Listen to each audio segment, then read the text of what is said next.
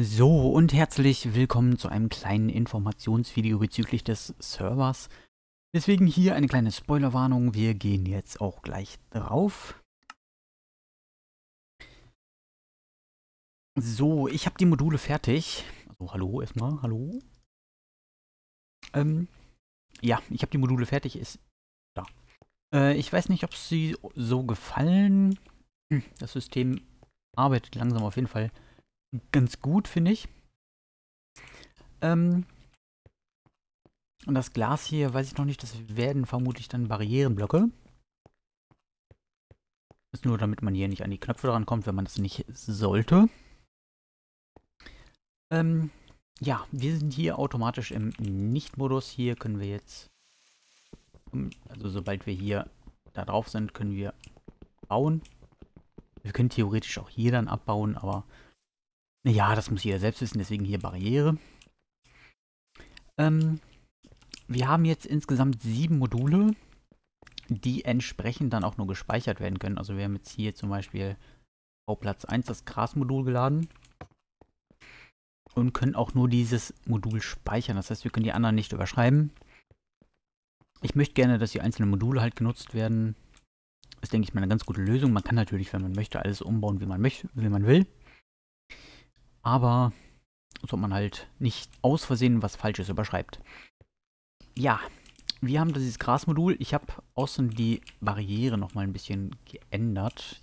Mal gucken, ob ich da drunter da unten drauf komme. Ähm, ich guck mal. Ach, ja.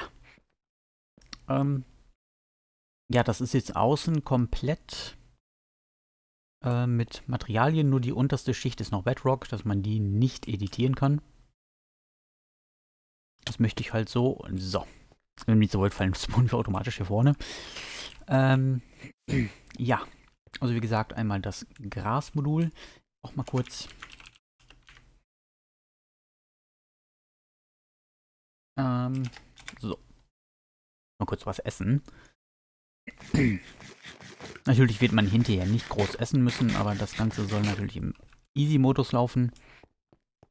So, das heißt, das Grasmodul, am Wüstenmodul hat sich auch ein bisschen was getan.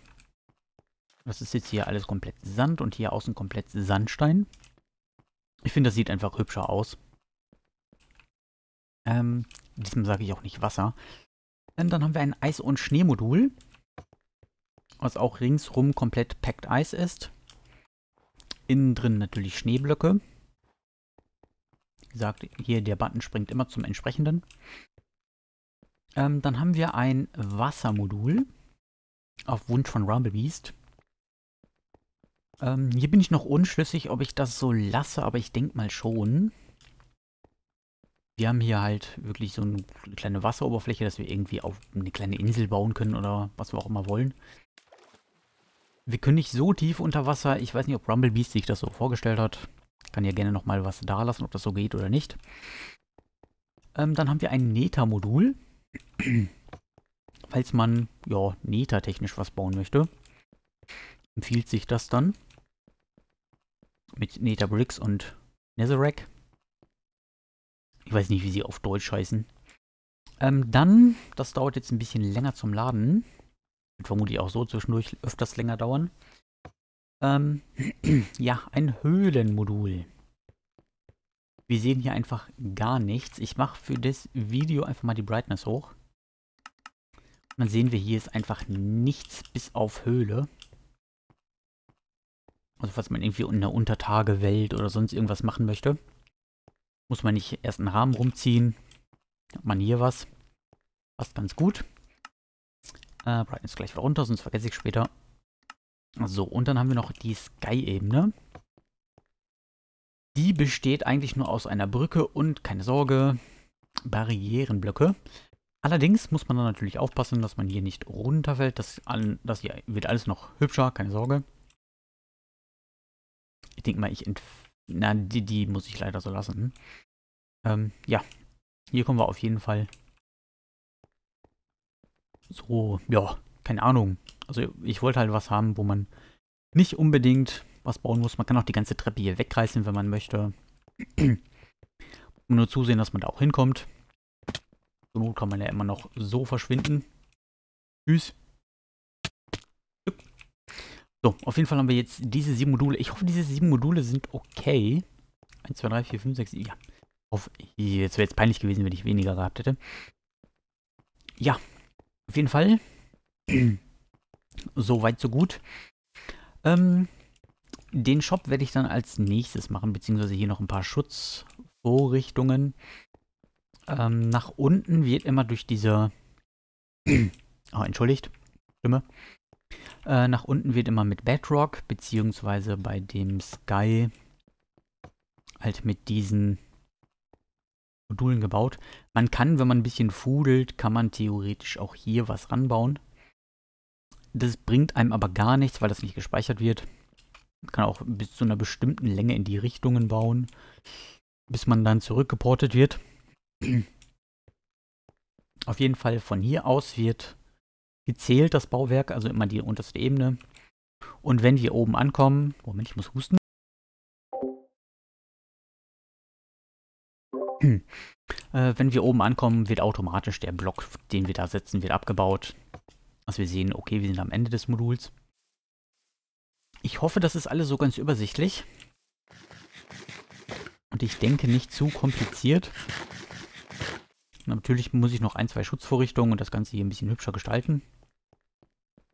Aber ansonsten war es das, was ich gemacht habe, erst einmal. Ähm, was ich machen möchte, ist, wenn man dieses Gebiet verlässt, deswegen ihr, ihr seht bestimmt rechts den Ticktimer, der hat euch bestimmt schon verwirrt. Ähm, den werdet ihr später nicht sehen, aber das ist halt, ich teste halt, wie das läuft. Ähm, dass wenn man dieses Gebiet verlässt, dass das Inventar gelöscht wird. Das heißt, ich habe komplette Kontrolle über das Inventar. Das heißt, ihr müsst euch einfach Kisten hinstellen und da einmal alles reinpacken. Das wird ja nicht so schlimm sein, denke ich. Ich glaube, ich packe dann hier auch irgendwie noch so ein kleines Lager hin oder sowas. Mal gucken. Ähm, ja. Das auf jeden Fall. Das heißt, ihr geht dann hier durch, habt so irgendwie so eine kurze Wartezeit und werdet dann geportet. So ist das Inventar gelöscht. Und ich habe komplette Freiheit für andere Spielmodi und sowas. Das heißt, ich kann euch Items geben und und und. Ich hoffe, das ist nicht zu nervig. Also wenn ihr euch denkt, das wird aber ziemlich nervig, schreibt das ruhig mal in die Kommentare. Dann überlege ich mir da nochmal was. Aber ansonsten, ja, ich denke mal, das ist echt die beste Lösung. Ja, das war's dann auch schon. Wir haben Brot auf dem Rücken. Ja. Ähm, Custom NPCs geht immer noch nicht für den Server. Deswegen ist hier alles verbuggt, weil das auf dem Client ist und nicht auf dem Server. Das ist echt schlimm. Äh, ja, auf jeden Fall, das war's. Ihr seht, ich arbeite fleißig daran.